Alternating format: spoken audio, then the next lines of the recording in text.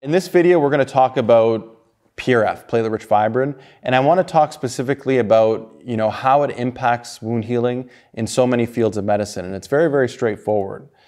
When we talk about platelet-rich fibrin, there's really three main growth factors that are found in blood, and they each have uh, their specific roles. So we all know and we've all heard, you know, PRF has VEGF, which is vascular endothelial growth factor, and that promotes angiogenesis, so new blood flow, and that's very important for regeneration of all tissues. Number two, PDGF, platelet-derived growth factor, and that's a growth factor that's found, um, it's a re recombinant growth factor today, but it's found, of course, by platelets, and there's many platelets in blood, and they help with recruitment of, of cells. Okay, so that's their main activity is to help recruit stem cells to the local environment.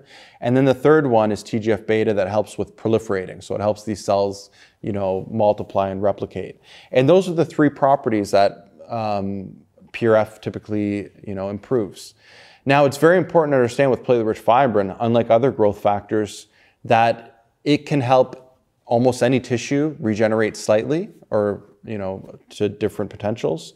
But in any event, the point that I want to make here is that if, for example, you know, you have an extraction socket and you place platelet-rich fibrin in this extraction socket, well, how is it going to work and how is it going to help you make new bone? And the studies have shown, um, there's been some nice studies by uh, Nelson Pinto and Marc Quirynen's group that have shown that it can limit dimensional changes, etc. Maybe not as effectively as a bone graft, but you know, there is some bony potential there. How does it work? Well, PRF goes inside the extraction socket. First thing it does is it improves angiogenesis, so blood flow is rushing in. Number two, it helps recruit cells. What cells are being recruited? Well, all the cells from the bone walls, right? If I have all my bone walls and I got my buccal plate, bone cells get recruited in and then they multiply. So you get more bone cells, makes more bone, and that's how that works. Where people get into trouble with platelet-rich fibrin Let's say that same case, now I'm missing a buccal plate. If I'm missing that buccal plate now, okay, I put platelet-rich fibrin in there, I get angiogenesis, we're getting new blood flow, then cell recruitment.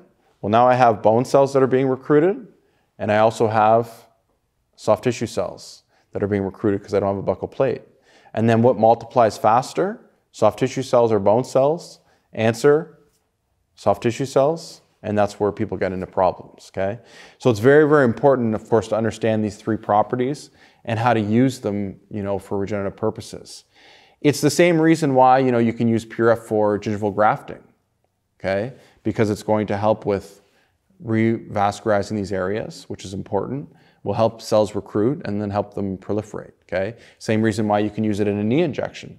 How does it work when you inject it into somebody's knee? Well, it helps re-stimulate blood flow, which Cartilage is typically avascular, so it helps revascularize. It's going to recruit cells. What cells are in the area? Well, it's cartilage, so there's chondrocytes there. More cartilage cells are going to get recruited, and they're going to proliferate, so you have more chondrocytes, and they'll help you make more cartilage, okay? And that's the reason why you can use it in all these different areas.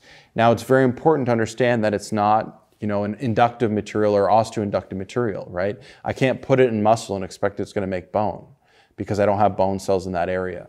So that's how platelet-rich fibrin works. It's very different than some of the other growth factors, and one of the reasons why it can be used to stimulate and help uh, the regeneration of most tissues.